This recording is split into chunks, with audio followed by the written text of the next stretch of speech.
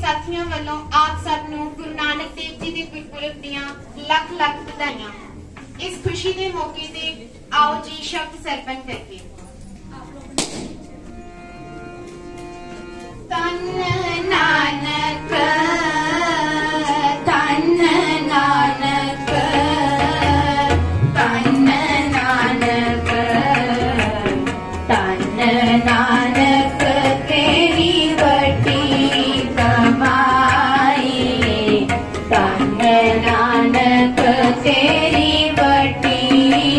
mind.